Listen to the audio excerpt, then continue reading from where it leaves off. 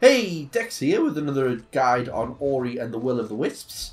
This is how to get past the giant bird, also known as Shriek, in Windswept Wastes. So, just after you collecting three different orbs, which is like a, a main story mission, you'll know exactly where you are. You'll get to this park where you need to get past Shriek. Now, if you're like me, you'll find it extremely difficult at first and be like, how on earth do you have to do it?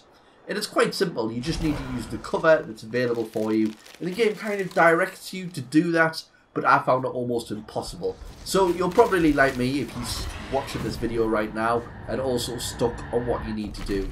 But if you follow kind of where I've just gone on the video, rewind it if you need to, and just go into each of the cover spots, whereas I was at, then go into the save spot, Bob's your uncle, that's all you need to do to get past. And you won't have another area like that. You'll now go into like a main mission as you can see there.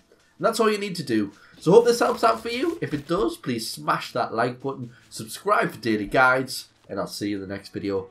Bye